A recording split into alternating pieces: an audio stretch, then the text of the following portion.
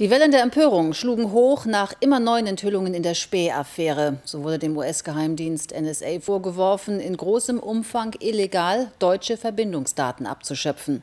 Ein schwerwiegender Verdacht, der sich nicht erhärtet hat. Zwar gehen wohl große Datenmengen in die USA, aber solche, die der Bundesnachrichtendienst selbst erhebt, etwa von seinem Horchposten im bayerischen Bad Aibling aus. Und das geschieht auf Basis einer Vereinbarung, die nach den Anschlägen vom 11. September 2001 geschlossen wurde. Wer späht eigentlich wen aus? Hier in Bad Aibling in Bayern ist die Frage einfach zu beantworten. Der deutsche Auslandsgeheimdienst, der BND, sammelt Daten über Ausländer. Und wie sich jetzt herausstellt, gibt der BND diese Daten wohl an die amerikanischen Kollegen von der NSA weiter. So soll es in einer Vereinbarung aus dem Jahr 2002 stehen.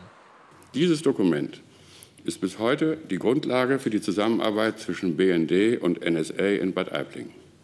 Dieses Abkommen geht zurück auf eine Grundsatzentscheidung des damaligen Chefs des Bundeskanzleramts Frank-Walter Steinmeier. Hat also ein SPD-Minister die Grundlage für massenhafte Datensammlungen mitgelegt? Der parlamentarische Geschäftsführer Oppermann weist das im Internet empört zurück. Ein durchsichtiges Ablenkungsmanöver sei das. Fakt ist aber, dass nach dem 11. September die Bereitschaft hoch war, den Amerikanern Daten zu liefern. Die CDU freut sich, weil sie jetzt viele Fragen an die SPD stellen kann.